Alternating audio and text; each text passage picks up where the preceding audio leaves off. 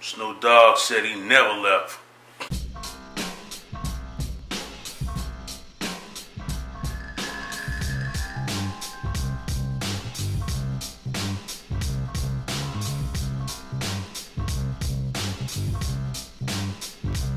Yeah, maybe he never left, man, but past few years he has been on some different shit. But you know, that could that's always a good thing, you know.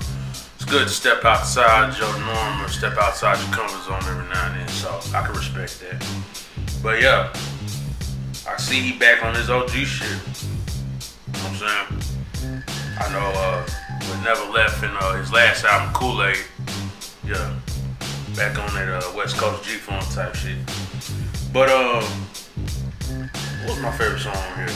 I think it was uh back in the days with uh Big Tray Deee on there. Oh, I'm mad he didn't give Big Tray Deee a verse on there, man. Like, like why? Why not give give Tray Deee a verse, man? Come on now.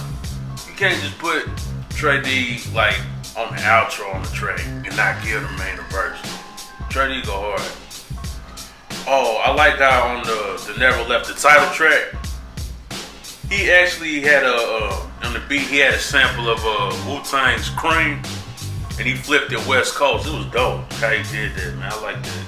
Swivel was pretty good.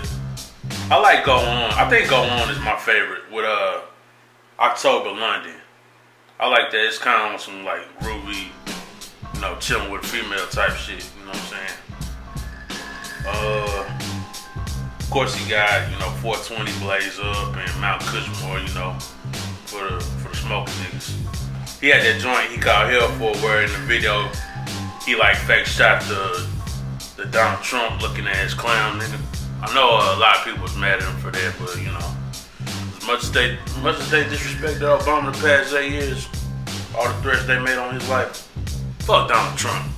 He had Kendrick on here, a little cameo on Still Here at the beginning he was talking he was talking like, you know, he was a little kid saying, It's nice to see Snoop Dogg back and then Kendrick was like, nah man, you wrong. Snoop Dogg never left.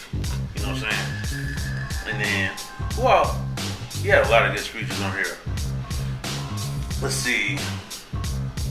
He had Rick Rock, Big Tray Deee, K Kemp, Stressmatic, October London, too Short, Nef the Pharaoh, Devin the Dude, Wiz Khalifa, DJ Battlecat, Bad Bad Not Good, Kaytranada. Oh, he did have KRS-One on here on a song called Let Us Begin. That was pretty good actually.